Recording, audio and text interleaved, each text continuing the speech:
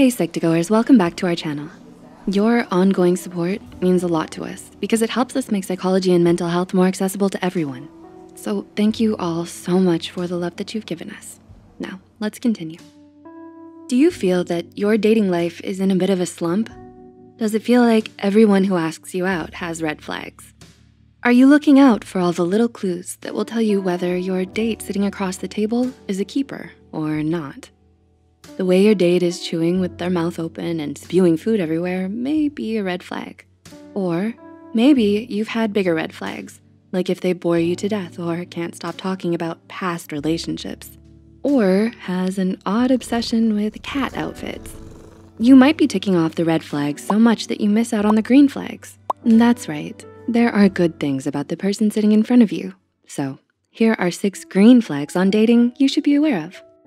Number one, you can talk for hours, but it seems like minutes. You can lose your sense of time when you're with the right person.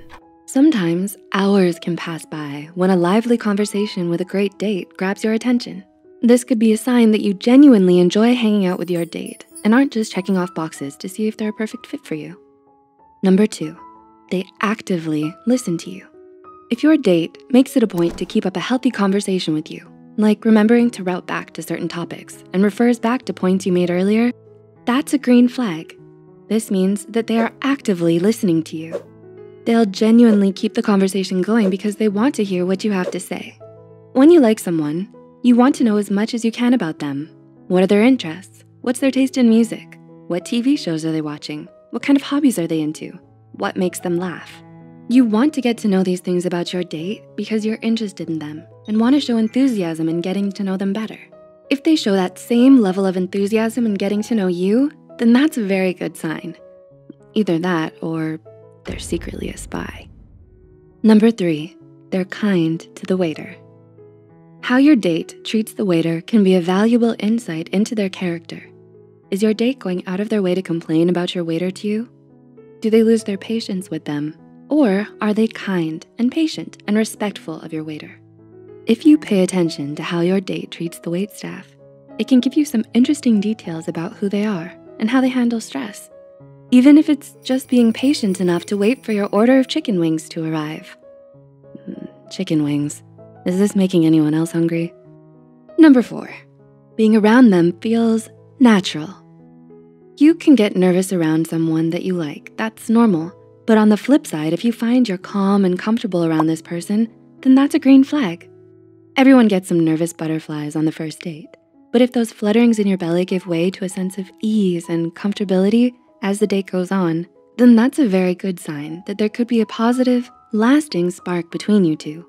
Number five, they're not distracted by their phone. If you find yourself on a date where the other person isn't consistently eyeing their phone, then this is an obvious green flag.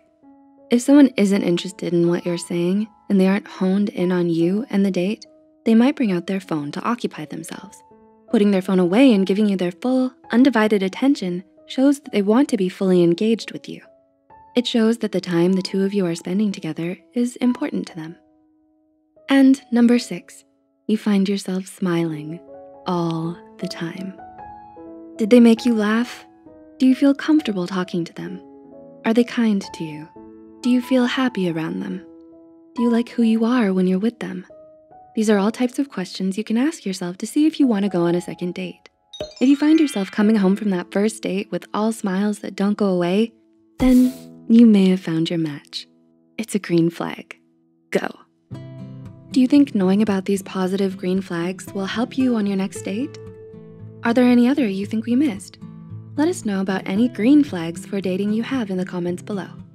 Go ahead and like and share this video if it helped you and you think it could help someone else too. Don't forget to hit the subscribe button and notification bell icon for more Psych2Go videos. Thank you for watching, and we'll see you next time.